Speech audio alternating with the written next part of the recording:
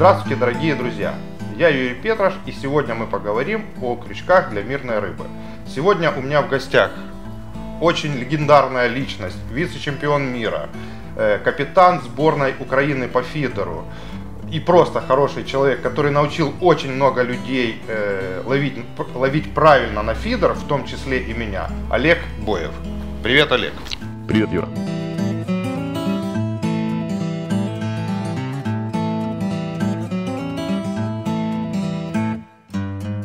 Как мы все знаем, рыбалка для любого человека в первую очередь начинается с удочки или с донки. И самый главный атрибут это леска и крючок. Но на сегодняшний день существует масса размеров, масса форм. И простому рыболову очень сложно разобраться, э, для какой ловли, какой формы нужен крючок. И вот на эти вопросы я попросил ответить Олега. Олег, расскажи, пожалуйста, вот кратко и понятно, для чего нужны крючки, как быстро их нужно менять, должны ли они разъебаться, не разъебаться, и на какой крючок что насаживать и какую рыбу ловить. Ну, начнем с того, что э, крючок выбирается не под рыбу, а под насадку, под наживку. То есть э, это в первую очередь э, выбирается размер крючка, форма крючка, толщина проволоки, э, длина жала, форма, загиб, не загиб, колечко, лопатка. В общем, вот эти все нюансы мелкие это в первую очередь подбирается именно под насадку. Э, насадка, соответственно, подбирается под рыбу. Э, то есть, ну, давай вот начнем, к примеру, с классического крючка. Это классический раунд, то есть серия, которая предназначена в первую очередь для поплавочной ловли, для, скажем так, в Англии это называется матчевая ловля. Матчевая ловля подразумевает все виды поплавочной ловли. Это маховая удочка, баллонская, матчевая, штекер – вот. А также э, все виды фидерной ловли, то есть донной. То есть Она... матчевая ловля, простыми словами, это когда мы поплавок забрасываем это, подальше. Да, это поплавок. Нет, это не обязательно подальше. Это может, может быть маховая удочка там, в трех метрах от берега. Абсолютно э, спокойно ловится, допустим, там любыми из этих крючков в небольших, в небольших размерах. То есть вот эти, к примеру, три. Вот, вот эти крючки э, в больших размерах э, подойдут в том числе и для фидерной ловли. Это тоже матчевая э, в английском понимании компании. Это стандартный классический крючок э, для поплавка и для фидера. Э, это вот тот крючок, который, с которого, наверное, начинали все, э, практически все рыболовы там, постсоветского пространства. Крючок из детства. Крючок из детства, да. Это вот, вот самая распространенная форма крючка. Вот этот крючок подходит прежде всего под самую, скажем так, детскую насадку, с которой начинали все ловить рыбу. Это мякиш хлеба. Угу. То есть вот, вот, вот ну, лучше ничего не придумаешь, и нет смысла придумывать. Вот сразу задам вопрос. А вот еще ловят на мякиш хлеба? Естественно. Отлично и, ловят. И это хорошая э, наживка, считаю. Я скажу тебе, что я даже иногда вот отрываюсь на даче, я прихожу на э, мостик, э, сажусь там в 5 утра, там поют соловьи, я с одной маховой удочкой, э, с мякишем хлеба, без прикормки, без ничего, я просто получаю такой кайф. Вот, вот именно вот такими крючками Видишь, я классическими. Я тебе говорю, я получаю ну, такое удовольствие, которое не получено ни на одном соревновании, даже, даже, даже там выигрывая постоянно. Вот. То есть, э, ну, конечно, не только на хлеб, то есть это может быть и перловка, и опарыш, и червячок, допустим, кусочек, кусочек красного червячка. Вот. А рыбу э, этот крючок ловит абсолютно разную. То есть это может быть плотва, это может быть карась, э, густера, подлещик. Крупный размер, пожалуй, на карпика тоже. Э, крупный размер можно и на карпика, да. Э, но Нужно не забывать, что проволока здесь не очень толстая, поэтому э, даже там в больших размерах, э, ну вот, вот, к примеру, вот в этих, да, э, небольшой карпик, да, вполне, вполне нормально. Э, вот, вот этот вот, ну, карпик до, там, до 3 килограмм спокойненько, ну, допустим, допустим выдержит. Э, ну, это да. Вот. Э, давай пойдем, пойдем дальше. Э, вот крючок, который э, называется карась. На самом деле он действительно очень неплохо подходит для ловли этой рыбы. Вот. Э, лучшая насадка для карася, ну, насколько я знаю, насколько я помню, как бы э, все, все свои карасевые рыбалки, есть две э, любимые насадки у карася. Это зерно перловки, ну, то есть варен, вареная перловка обычная, запаренная, и э, либо красный червь, либо бутерброд, красный червь плюс один опарыш. Ага. Вот. Э, в принципе, вот и этот, и вот следующий крючок, который называется смешно, но очень правильно киллер карась, э, они оба подходят именно под эту насадку. Ага. То есть в маленьких размерах, э, ну вот зерно перловочки, ну вообще идеально садится. Здесь э, э, ничего лучше не придумаешь. Здесь э, этот крючок отличается только тем, что у него чуть больше э, загнута э, лопатка, колечко вернее. Вот. Э, это для более, скажем так, естественной подачи насадки, э, если, если ловить на поплавок. Вот. А так, крючки в чуть большем размере отлично подходят для крупного карася, для насадки, которая, допустим, у нас будет выглядеть как целый красный червь. Угу. Вот, можно в два прокола, можно э, в три прокола, можно его порвать на несколько кусочков. Но и... чул чулком уже вроде бы как в детстве э, не стоит. Э, я бы этого не делал. Угу. Ну, во-первых, нужно помнить, что э, при абсолютно любой ловле, будь это поплавок, будь это фидер, э, любая донка, Э, жало крючка всегда должно быть открытым. Это, всегда. Кстати, да, это это, это правило, это закон. Не нужно бояться этого, не нужно думать, что рыба видит, что рыба наколется и так далее. Вот. Нужно не забывать, что крючок должен проколоть э, губу рыбы.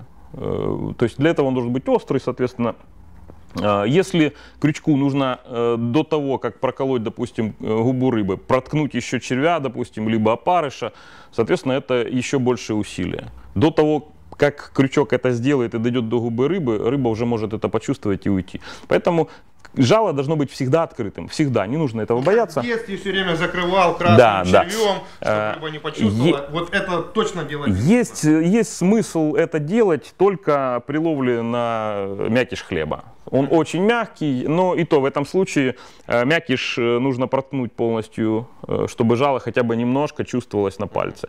Вот. Тогда как бы проблем не будет с засечкой. В общем-то, вот об этих крючках, в принципе, ничего плохого сказать не могу. Классные крючки, достаточно острые. Я их пробовал, кстати, в прошлом году. Вот. Э, я ловил фидером, э, попадались подлещики, попадал, попадался карась.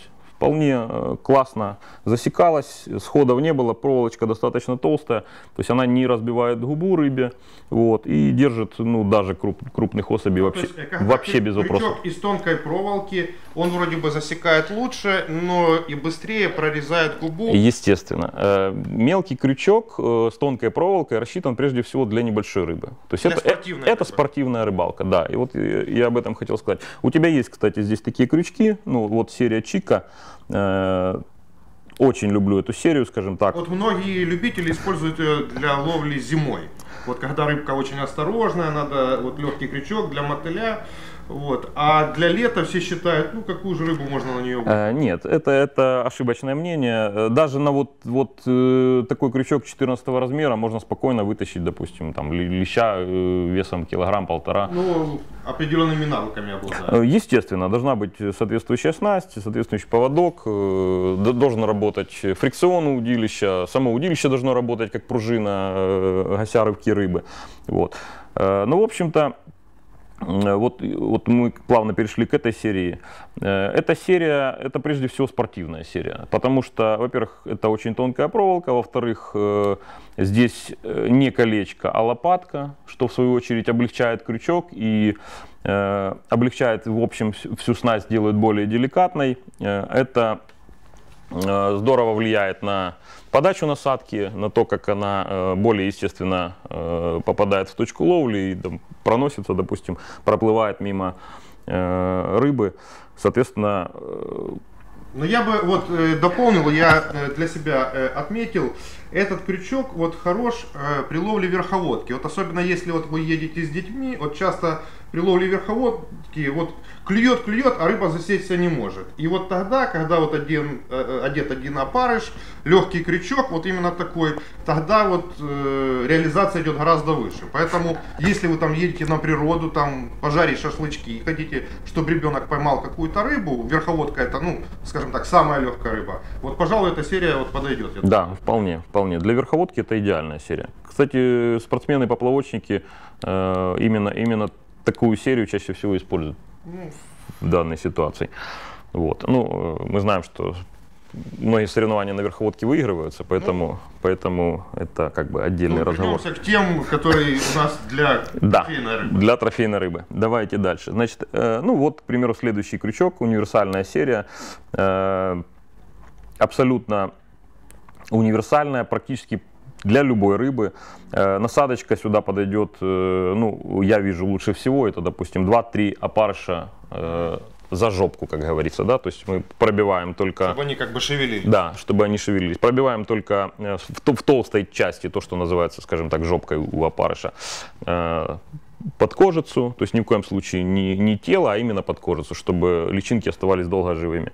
Вот. Два-три таких опарыша э, будут создавать ну, очень, очень красивый бутербродик такой, соответственно, рыба. Кстати, когда-то меня Олег научил, ни в коем случае, если вы ловите на донку, нельзя цеплять два опарыша, именно два, потому что когда вы выматываете, э, получается э, пропеллер. Как, как пропеллер, и ваш поводок максимально закручен. Поэтому надо или один, или больше трех. Или три, да.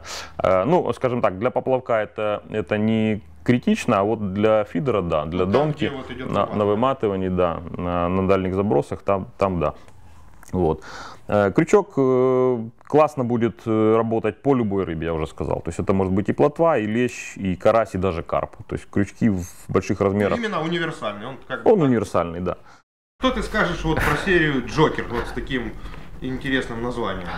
Серия Джокер, ну, на мой взгляд, эта серия э, больше всего подходит, э, не знаю, почему ее так назвали, но, на мой взгляд, она больше всего подходит для плотвы. Не знаю почему. Вот э, Э, классный прикольный загиб, необычный, скажем так. Вот. Э, я лично вижу ее э, лучше всего для э, ловли на опарыш, на пинку, на маленький, допустим, опарыш, либо на крупную. Это самая популярная насадка для плотвы. Да, это самая популярная насадка для плотвы. Пинка это тот же опарыш, только, только маленького, только, маль- только маленького размера, да. Вот. Так вот, вот именно такая форма позволяет насадить Э, опарыша именно чулком. То есть, ага. э, то есть, Чулком тоже можно насаживать? Да, тоже можно насаживать. Э, но в этом случае чаще всего э, один опарыш чулком. Если, допустим, хочется увеличить насадку, тогда, допустим, один опарыш, либо пиночку еще добавляем именно под кожу. То есть иногда имеет значение один маленький, другой большой да, опарыш. Да, естественно. Эти комбинации каждый раз вот надо подбирать, я так понимаю, Естественно, на каждой рыбалке под каждую конкретную рыбу нужно как бы пробовать искать насадку. Идеальную, золотую насадку именно, именно для для этого. Э, Кстати, вот э, могу поделиться. Э, однажды я помогал в качестве координатора Олегу и его команде на чемпионате Украины. И вот самый, один из самых важных моментов, это информацию, которую они передают друг другу. Это вот что в этот момент лучше всего. То есть два мотыля, там, один мотыль, один опарыш. То есть вот эти вот комбинации, это и есть ваша разгадка вот в этот день на этой рыбалке, какую, э, какую комбинацию рыба берет более жадно. И вот э, как бы там ни было, даже вот информация сначала мотыль, а потом опарыш, или наоборот, это тоже зачастую имеет значение. Да, да, именно это может быть э, ключ, ключиком к успеху, к победе на каких-то соревнованиях. Вот. Этот, этот, ну, это, это мой взгляд, то есть я вижу, вот я бы его использовал в первую очередь для плотвы. Причем для самой разной плотвы, ну, по крайней мере, вот эти вот крючки, которые небольшого размера. Вот. Крючки побольше можно использовать э, для самой разной рыбалки. Подлещик, скорее всего. Вот. Подлещик вполне, вполне, да. Густера крупная может быть, может быть даже крупный лещ. Вот, э, вот, вот эти крючки, вот два самых больших, э, я бы, наверное, их в том числе и на бычка использовал. Знаешь, б, б, бывает иногда там, да, вырываемся там с друзьями именно э, на лодке выплываем. Вот, вот, вот такие крючки лучше всего для бычка. Ну, как бы здесь. Ну, для здесь... бычка, я так понимаю, важно. Вот у нас есть серия Гоби, которая в переводе с английского означает бычок. Важно большое цевье, потому большое что он цевье. заглатывает. Да. И вот достать крючок. Да, крайне проблематично бывает, да. Поэтому нужен экстракт фактор, как минимум. Вот. Э, да, здесь э, плюс насадка на бычка обычно достаточно э, объемная, то есть это может быть там и, для бычка и берем сал. серию Гоби. Для бычка вообще ничего не нужно придумывать. Да, есть вот, вот крючок самой стандартной, допустим, формы, раунд форма. классической, да, с большим цевьем, все. Вот. Но это вот просто из, из, из вот этих крючков я все-таки увидел, вот эти два вполне можно использовать, в том числе и для бычка. Вот. Так, пойдем дальше. Крючок супер. Э, скажем так, тоже можно назвать его э, классическим, то есть универсальным вполне. Э, крючок, который подойдет для любой белой рыбы, но в первую очередь для фидерной рыбалки, то есть не для поплавка. Uh-huh. То есть этот крючок даже в самых маленьких размерах, допустим, в четверке, да, в пятерочке, вот, можно смело использовать даже по крупному лещу. То есть, по насадке, вот, вот лучшая насадка именно для этого крючка? Я думаю, что вот, вот тот бутербродик, который мы используем на соревнованиях. То есть один э, опарыш чулком угу. э, и маленькая пиночка. Либо э, 2-3 мотылика угу. поперек и маленькая пиночка для, для замка. То есть толщина проволоки этого крючка вполне позволяет, позволяет да, вполне позволяет использовать в том числе и мотылек. А, вполне может быть. То есть э, крючок супер, и название у него, в принципе, очень неплохое для такой рыбалки. А, да, он довольно, довольно легкий, несмотря на то, что у него а, колечко, а не лопатка. Вот. То есть, ну, для любительской рыбалки любителям вообще нет смысла э, ну, вот, гнаться за лопаткой, допустим. Ну, любители не любят, неудобно привязывать. А, я им, знаю. Им кажется, что э, оно как бы там Да, оторвется, что оно оторвется или, или развяжется. Да, это, ну, если, скажем так, какие-то навыки определенные есть, то ну, никогда такой крючок не развязывается. И спортсмены используют э, крючки всегда, всегда с лопаткой, чаще всего. Хорошо, а вот у меня вот сразу вопрос. Вот очень популярная, я знаю, вот эта вот серия ИСМ тема. Вот я видел э, на готовых монтажах много она используется. Вот в чем как бы преимущество именно этой серии? Исиама, я бы сказал, э, крючок для донной ловли. На, в поплавке я бы ее не использовал, хотя, э, допустим, при ловле карпа на, на платнике, где-то. на платнике где-то, да, допустим, на штекер, либо на э, матчевую ловлю с дальним забросом, либо даже на маховую удочку, если карп стоит недалеко от берега, допустим, под камышом где-то. Вполне можно использовать э, эти крючки. Насадочка в этом случае зерно кукурузы. Угу. Вот. Одно, одно, допустим, зернышко кукурузы на вот эти крючки, да, на вот эти можно два, три, три зернышка кукурузы и так далее. Вот. Ну, на поплавок редко используют, допустим, крючки там в, в размере больше, чем седьмой. Вот. На фидере же э, с дальним забросом под крупную рыбу можно использовать любой из этих крючков, в том числе 11 номер, допустим, 10-11, отлично будут ловить именно э, карповую рыбу. То есть классный, классный крючок для карповой рыбалки.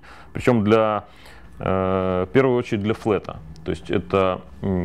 Флет это такая это, лепешка. Да, да. Флет это э, вид, вид методной ловли, скажем так. Это там, где липкая прикормка, да, короткий поводок. Где липкая прикормка, да, короткий поводок, э, где-то в 7-8-10 сантиметров это максимум. Вот. Насадка может быть самая разная, но так как карп очень любит кукурузу, то ну, здесь ничего придумать не нужно. Вот карп и кукуруза это вот этот крючок. Супер, идем дальше. Э, соды э, – это крючок для поплавочной ловли, в первую очередь. Именно есть, для поплавка? Именно для поплавка. Нет, почему? Ну, то есть в фидере тоже можно использовать. Э, если нет ничего другого, пойдет и для фидера? Если да, если в вашей коробке не осталось никаких других крючков, то можно ловить и на донку. Скажем так, мы, то есть у меня вот, вот из вот этих всех крючков, да, вот таких форм есть все. Но я ловлю только фидером. Э, соответственно, э, любой из этих крючков можно использовать в фидерной ну, рыбалке. У любого спортсмена, пожалуй, ассортимент, который не уступает ассортименту э, магазина. Ну, навер... наверное, да. Вот. То есть, ну, э, но лучше всего этот крючок подходит именно для поплавочной ловли. То есть, если вы идете на рыбалку, вам надо крючок на, для поплавка, берите соду, и он будет... Да, берите соду, он будет ловить любую рыбу, да. Э, по насадочке здесь, э, начиная от мотыля в маленьких размерах, mm-hmm. Вот. Э, в более э, крупных размерах это может быть опарыш э, и даже красный червь. То есть здесь, здесь цевье достаточно длинное, поэтому здесь разгуляться есть куда. То есть можно использовать любую насадку, начиная там, ну, я уже сказал, от мотыля. Может быть и мякиш хлеба, то есть так же, как мы используем, допустим, в этом крючке, потому что крючки, в общем-то, похожи. Вот здесь немножко по-другому расположено жало, э, немножко другой изгиб, но, в общем-то, принцип крючка такой же. То есть открытый, классный, э, очень, очень э, популярный и эффективный крючок для поплавочной ловли. Угу. Дальше, крючок фарт. Этот крючок как раз ну вот, вот почему я, допустим, хочу, э, вот вижу этот крючок для донной ловли. Uh-huh. Вот, вот, то есть у крючков для донной ловли у них э, свой специфический изгиб. Здесь э, расположение, вот изгиб самого крючка и жала расположено так, чтобы э, максимально эффективно Э, производить самозасечку. То есть э, не производить, чтобы э, рыба засекалась сама. То есть именно вот... вот ну, да, вот часто рыболовы говорят, а есть у вас самоподсекающиеся крючки? Э, да, крючок, вот это... крючок, который ловит сам, да. Вот зачастую вот крючки в форм, форме аджи, э, допустим, вот в форме вот F22, допустим, либо крючки, которые похожи на Э, знаменитый крючок Гамакацу 3513F, допустим, он, он похож, кстати, на этот вот и, и на этот тоже. Э, а это крючки, которые ну, практически сами ловят рыбу. Да, то есть стоит большая кормушка, э, на течении, допустим, поводок развивается, либо находится на каком-то расстоянии Поклевку от кормушки. мы еще увидеть не можем. Да, но рыба уже садится. То есть рыба садится сама. Она приходит, она хватает и пытается то есть, может, убежать. он так поэтому и назван фарт, что вот... Вполне может быть. Он, кстати, очень похож на крючок, который будет будет сам ловить рыбу. То есть это крючок, э, классический крючок для самозасечки. Крючок фарт ловит рыбу сам. Ну, примерно да. Вот. По рыбе э, вся донная рыба белая, абсолютно вся. Вот. Ну, единственное, э, может быть, на карпа это вот только вот этот, ну, и то, и то не факт. Скорее всего, это вся, вся наша рыба днепровская, самарская, в общем, ну, речная, либо ставковая, то есть это караси в том числе. Хорошо. Э, крючок, который удивляет очень многих и вызывает у многих большие вопросы. Это вот серия «Специалист». То есть там так необычно, очень сильно, непривычно загнутого внутрь жала. Вот как ты прокомментируешь именно эту серию? Так, крючок специалист. Форма у него действительно необычная, э, но это форма в первую очередь для карповых рыб. То есть это крючок, который э, я бы не использовал, к примеру, при ловле плотвы или густеры. Э, а именно при ловле э, карпа, может быть белого амура, э, небольших размеров относительно. Вот. Ловить можно как на зерно кукурузы, так и на какую-то насадку типа насадочного пелеца небольшого, либо э, попапики, бойлики небольшие. То есть, насколько Что... я правильно понимаю, вот если не крупная рыба, она вот может э, как-то с наживкой играться, то это рассчитано уже на ту рыбу, которая уверенно берет насадку, а этот изгиб э, вот быстро там находит мягкую ткань и остается в пасти. Этот изгиб, да, позволит нам поймать э, именно карповую рыбу. То есть он... Э, которая уверенно берет насадку. Да, да, естественно, крупная рыба, которая не особо церемонится. Здесь толстая проволока, как мы видим, то есть крючок довольно массивный, при том, что он небольшого размера, но он довольно прочный. То есть любой из этих крючков там спокойно выдержит карпа пятерку, даже десятку, наверное, думаю, без вопросов. То есть это крючок именно для то есть, если вы идете хорошего крупного, уверенного да, карпа, карта, э, карпа или толстолобика, да, берите. вот эту серию можно попробовать. Специалист, пожалуйста, да. Ну а сейчас, пожалуй, самый популярный крючок у любителей, это вот серия Аджи, она как бы так и назвалась. А, Интересно, что скажут спортсмены. Наверное, я тоже любитель, потому что это тоже мой, мой любимый да. крючок. То есть, ну, а, серия Аджи это, это вообще фаворит моих крючков. Это в первую очередь крючки для донной ловли. А, это серия, которую выпускают, ну, наверное, все известные производители крючков. В том числе, наверное, и премиум класс. Естественно. Без этой серии конечно. Э, да, все японские крючки, все, все классные производители выпускают крючки э, серии Аджи. Э, вот. Это крючок, который также рассчитан на самозасечку рыбы. Вот. Э, вот, вот, вот Аджи и Аджи фидер, да, вот в данном случае, крючки практически одинаковые. Они имеют одинаковую форму, разница только в том, что Аджи фидер имеет проковочку боковую, то есть для усиления, скажем так, для уменьшения пружинящих свойств крючка. Угу. Ну вот скажем так, вот в, как, в каком случае ты поставишь эту серию, а в каком случае вот э, эту серию. То есть они отличаются только тем, что этот ну, более как бы приплюснут. Вот, вот этот крючок я возьму в первую очередь для более крупной рыбы. Угу. Да, у него Э, Чтобы счет... он амортизировал. Да, во-первых. Во-вторых, у него все-таки нет вот этой проковки, соответственно, нет режущей части, нет узкой части uh-huh. самой проволоки. То есть она, она имеет круглое сечение везде, в, в любом месте крючка. И прорезает губу не так быстро, как вот это. Да, естественно. Соответственно, э, более крупная рыба, э, более вероятно, допустим, что тот, тот факт, что я ее доведу до подсака и, соответственно, зачем, положу все да, сюда. Зачем же сделали эту серию? Этот крючок более легкий и рассчитан в первую очередь для, спор- для спортивной рыбы. То есть это может быть плотва, Э, это может быть подлещ, густера, то есть рыба не таких больших размеров. Э, но этот крючок, можно сказать, выручалка. Бывают ситуации, что вот ловится э, там крупная батонистая плотва, допустим, там 200-300 грамм, просто, Это вот именно просто шикарная. вот. Да, это классные такие вот, вот батоны, ловятся именно вот на такой крючок. Просто, То есть они просто идеально. осторожно, э, Да. э, легче э- этот крючок засосать. Естественно. Э, Чем легче крючок, тем, тем э, легче рыбе его засосать, э, тем более э, естественная подача получается этой насадки. Более Да, то есть э, презентация. То есть рыба любит то, что э, смотрится естественно. естественно опускается. Да, есть она не, она не будет э, клевать, допустим, она не будет хватать кусок металла просто так, да. То есть этот кусок металла должен быть похож на что-то естественное, на ну, естественный в первую кусок червяка. плотвы, насколько я помню, да? Вот Ну, именно медленно опус- опускающаяся. Да, плотва это, э, скажем так, мирный хищник. Она э, лучше всего реагирует на движение, на шевелящуюся насадку, на падающую, допустим, на пол- ползущую по дну и так далее. Если лещ любит инертную насадку, то есть насадка, которая неподвижно, неподвижно лежит на дне, э, то плотва реагирует всегда вот именно на шевеление.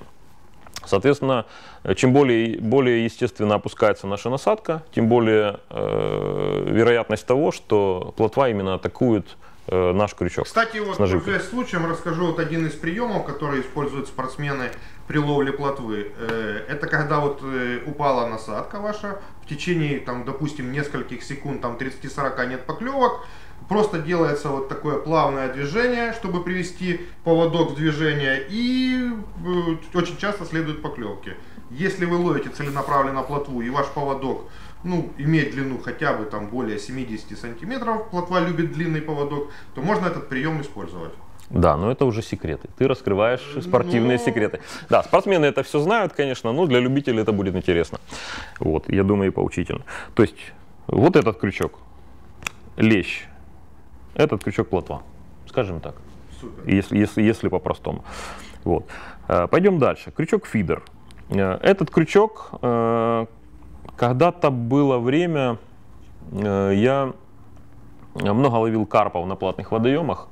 Вот. И вот именно фо- вот в такой форме крючки лучше всего у меня тогда засекали карпов, хороших карпов и амуров именно на зерно кукурузы. Именно для кукурузы. Именно для Ну, кукурузы. вот его в простонародье, вот э, ко мне вот приходят э, часто в магазин и говорят, вот дайте мне самозасекающийся. И когда показываешь ма- массу крючков, а потом показываешь его, все говорят, да-да-да, именно его. То есть это вот та серия FF22, которую уже как бы люди знают, но вот скажи, какая для него именно идеальная насадка? Ну вот я тебе говорю о том, что вот, вот было время, когда я вот на него очень эффективно ловил, э, причем довольно длительный промежуток времени, ловил карпов и амуров э, именно на кукурузу. А вот этот крючок у меня так и остался в принципе в фаворитах Пока. кру- по крупному карасю и по карпу э, именно на красный жирный навозный червь. Ага. То есть Вот. то, что любители в основном часто используют. Ну, скажем так, э, я, я еще раз повторюсь, то есть, э, допустим, крупный карась, э, ну, лично у меня вот в фаворитах, вернее, у, у карася, которого я ловлю, ему больше всего нравится классный жирный красный червь, вот, ну, либо перловка. Ну, перловка это, это больше все-таки поплавочная ловля. Если говорить о донной ловле, то вот этот крючок с классным, э, с большим куском красного червя э, по карасю, ну, вообще не будет иметь. А вот скажи, еще у многих э, любителей популярна такая насадка, как пенопласт. Э, Пенопласт, пенотесто, это вот сейчас э, наб- набирает такую популярность. Вот какую бы ты серию э, порекомендовал для пенотеста и пенопласта? Кстати, вот этот крючок отлично подойдет для, для пенопласта. То есть это подходит серия. Отлично подходит, да. Ну, э, я, скажем так, не использую по причине того, что пенопласт запрещен на соревнованиях, э, поэтому, ну, Ну, оч- очень, очень, очень редко, да, э, может быть, когда-то использовал. Но вот этот крючок, скажем так, пенопласт должен на крючке находиться именно вот на вот этой части, на поддеве. Жало открыто Да, обязательно. жало открыто обязательно. То есть мы, мы продеваем, чем, чем этот крючок хорош для пенопласта? Он полностью пробивает э, пенопласт, и у него остается место, вот, вот если вот, допустим, на самом большом крючке рассмотреть, вот здесь вот должен находиться пенопласт. Пенопласт должен проворачиваться. Мгм. То есть для того, чтобы он проворачивался, вот эта часть должна быть максимально ровной. Вот, вот в этом крючке это есть. То есть, допустим, вот в этом, крю- на этом крючке э, провернуть э, пенопласт Невозможно. сложно, да, то есть мы его, мы его повредим. Вот. Здесь же э, практически, практически, ровная площ- площадка. пр- практически ровный участок, да, на котором спокойно будет вращаться пенопласт. Если пенопласт будет э, жестко э, сидеть на крючке, у него не будет этой э, свободы, э, не будет э, стопроцентной реализации поклевок. То есть вот этот крючок, как вариант, да. То есть для тех э, рыболовов, которые любят ловить на пенопласт, вот, очень классный вариант крючка. Хорошо, и вот осталась, наверное, тоже одна из популярных серий, или, скажем так, популярных рыб, это карп. Любой рыболов хочет поймать карпа. У нас вот есть две серии, карп профи и карп. Вот твои комментарии о этих сериях. Э, Отличное название для правильных крючков. Э, Классный крючок э, с коротким цевьем относительно. Вот у этого крючка чуть больше цевье. Э, Оба крючка отлично подойдут для донной ловли именно карповых рыб. То есть это может быть как флет, методная, допустим, какая-то оснастка, также и классический э. Флаг и метод это когда у нас корм и на коротком поводке находится наживка. Да, естественно. К короткому поводку привязан один из этих крючков. Вот, Э, вот ну, э, для флета я бы выбрал, скорее всего, вот этот крючок, э, естественно, с волосяным монтажом. Э, Лучше... Это вот э, бойлы, то, что набирает э, популярности у любителей, то есть то, на что одевают бойлы. Да, да, именно для, для бойлового монтажа. То есть это может быть бойл, это может быть пелец самый разный, не обязательно насадочный, то есть сверлится сверлышком специальным и насаживается вот, вот здесь вот, допустим, должен, должен находиться бойлик либо пелец. В зависимости от размера крючка мы выбираем размер насадки. Кстати, 18. это вот ответ на вопрос, почему жало должно быть открытое. Вот если вы посмотрите, как устроен монтаж при ловле на бойлы, то у нас вообще насадка находится вдалеке от крючка. И, и рыбе не мешает э, всосать сначала бойл, за ним потом крючок и засечься. А мы иногда прячем жало там э, в червя, вот это неправильно. Да, в карповой ловле весь крючок абсолютно оста- остается открытой, то есть не только жало.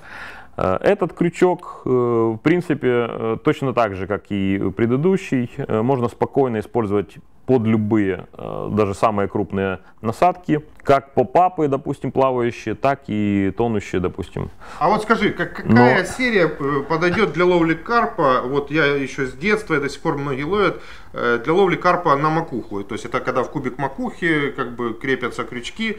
Вот какую из существующего ассортимента ты бы рекомендовал? Я когда-то в детстве тоже ловил таким образом, еще до того, как увлекся спортивной рыбалкой. Это был э, небольшой мощный крючок э, с небольшим цевьем, то есть это как раз вот эта серия. То есть она подойдет для ловли Вполне. на макушатник. Вполне, вполне, да, вот подойдет для ловли на, на макушатник. Вот, то есть вполне э, толстая проволока, мощный крючок. э, Если острое жало, то карпа шансов никаких. Хорошо. Олег, э, спасибо за то, что ты подробно рассказал о каждой серии крючка. Вот э, такой вопрос. Вот что самое главное в крючке, э, вот, ну, на что должен обратить внимание рыболов, независимо там от серии? Самое главное в крючке это острота. То есть если крючок, э, какой бы он там самый классный не был, если он тупой, он рыбу не ловит. То есть крючок должен быть острым всегда. Э, Сейчас современные крючки имеют э, там, современные способы заточки, в общем, супер-пупер, это могут, быть и химические какие-то варианты, и э, заточки с помощью не срезания металла, а давлением, допустим, формируется жало. Это все хорошо, да, такие крючки Э, может быть, чуть дольше остаются острыми, может быть, э, они могут стоить бешеных денег, но если крючок затупился, его нужно выбросить. Неважно, сколько он бы стоит. он стоил, да. Потому что восстановить остроту жала, э, ну, Вот как в раньше, небольшом напильничком. ну, скажем так, э, вот в таком крючке еще можно что-то попробовать сделать, допустим, да, там, чем- чем-то его подточить. Но как, как наточить крючок, к примеру, там, 10 номера? Ну, это нереально. То есть э, такой крючок э, просто нужно выбросить, а учитывая то, сколько стоит сейчас, допустим, крючок фанатик, э, ну, его выбросить не жалко. Ну да, на сегодняшний более- день упаковка стоит как пол пачки прикормки. И, ну, в принципе, как бы это и была наша цель, чтобы это было доступно для любого рыболова, и он мог своевременно менять крючок, имея всегда как бы крючок, ну, острый. Да, и то есть если э, рыба ловится, э, происходят поклевки, то есть рыба стоит на точке, затем э, поклевки продолжаются, но рыба перестает, допустим, засекаться, это в первую очередь нужно менять крючок. То есть, то есть проверить, насколько я понимаю, лучше всего по насадке. Вот если насадка... Э, ну, в зависимости, если человек ловит, допустим, на, мя на мякиш хлеба, он не поймет этого, да. да. Вот. Но, допустим, по мотылю или по опарышу это вполне, допустим, спокойно сделать. То есть, если э, крючок также легко пробивает э, кожицу, допустим, опарыша, значит, он достаточно острый. Если же он начинает давить, и по мотылю это вообще хорошо видно, то есть мотыль сразу да, растекается. Соответственно, крючок его просто уничтожает. Соответственно, рыба не может засечься на э, тупой крючок. Крючок нужно заменить. Ну что ж, дорогие друзья, э, нам остается только поблагодарить Олега за то, что он так подробно рассказал э, для чего нужен каждый крючок и какой формы. Я надеюсь, вам эта информация будет интересно, потому что для себя лично я тоже узнал много нового. Например, о том, что вот в крючке F22 есть площадка, в которой пенопласт должен э, прокручиваться. Я думаю, что даже я сам несколько раз пересмотрю это видео, для себя что-то отмечу и обязательно э, мои рыбалки после этого будут более эффективны. Спасибо тебе, Олег. Спасибо, Юра. Ну, а вы подписывайтесь на мой канал, впереди вас ждет еще очень много интересного. Рыбалка с Юрием Петрашем.